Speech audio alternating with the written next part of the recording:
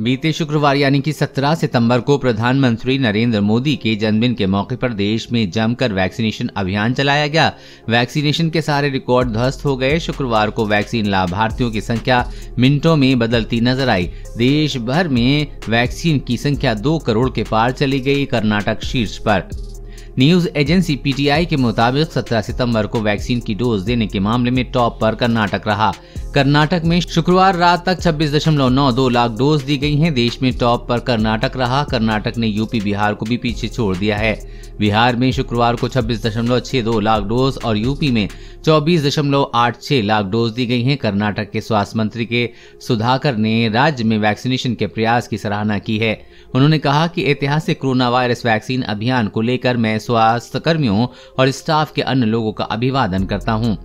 आसाम व बंगाल के आंकड़े। शुक्रवार को पश्चिम बंगाल में तीन लाख सत्तानबे हज़ार छियासी लोगों को वैक्सीन की डोज दी गई। राज्य के एक स्वास्थ्य अधिकारी के मुताबिक चार दशमलव आठ आठ करोड़ योग्य लाभार्थियों को वैक्सीन दी गई है। राज्य में एक दशमलव चार एक करोड़ ऐसे लोग हैं जिन्हें वैक्सीन की दोनों खुराक दी गई हैं। वहीं पीएम मोदी के जन्मदिन के मौके पर आसाम में सात लाख नौ हज़ार पाँच सौ चौबीस लोगों को वैक्सीन की डोज दी गई है। दिल्ली हरियाणा व अन्य राज्यों के आंकड़े।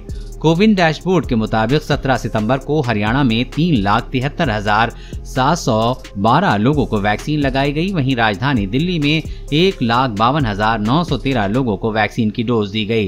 गोवा में 16,419 लोगों को वैक्सीन लगाई गई। हिमाचल प्रदेश में बासठ हज़ार पाँच सौ पचासी जम्मू कश्मीर में एक लाख पंद्रह हज़ार पाँच सौ सत्रह झारखंड में छियानबे हज़ार तीन सौ तेरह, केरल में तीन लाख नवासी हज़ार चौसठ, पंजाब में दो लाख दो हज़ार पाँच सौ बावन, राजस्थान में तेरह लाख अठारह हज़ार तीन सौ अड़तालीस, मध्य प्रदेश में छब्बीस लाख इक्यानबे हज़ार आठ सौ सतहत्तर और तमिलनाडु में दो लाख बावन हज़ार तीन सौ तिरालीस वैक्सीन डोज दी गई हैं।